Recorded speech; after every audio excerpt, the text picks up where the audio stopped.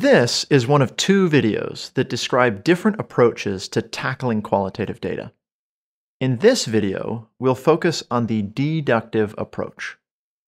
Deductive methods approach qualitative data with a predetermined framework in mind. This means that before you ever really get into analyzing the data, you've already thought about what you're going to look for, so you can focus on what's relevant and ignore what's not. This is in direct contrast to inductive methods, where you avoid predetermined frameworks and focus on any naturally occurring patterns.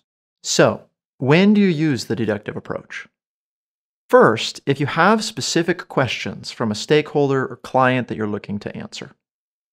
In a case like this, the only insights you may care about would be the ones that shed light on those questions. So most everything else could get ignored. A second scenario that makes the deductive approach useful is if you have a lot of data and you just need to get things organized so you can make sense of it all. You might begin by grouping things according to the types of tasks given in a usability test, or questions asked in interview data, or even important research participant characteristics. A third reason to analyze data deductively is if you're seeking additional evidence of previous research findings. Perhaps some exploratory research, such as a survey, revealed that a lot of users are experiencing a couple of main problems. You could analyze your follow up interviews with these problems in mind and begin by only really focusing on additional insights related to those initial findings. I think about the deductive approach like a metal detector. When you use a metal detector, you're only really looking for things that are metal regardless of what other cool non metal stuff might be out there. Any strategy you use to narrow your focus during analysis is some form of a deductive approach. To conclude, I have two words of caution about the deductive approach. One, don't miss interesting new information. And two, watch out for confirmation bias.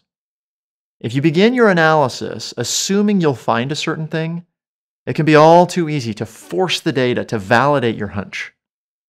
If you really aren't seeing what you expected to see, then that's important to recognize.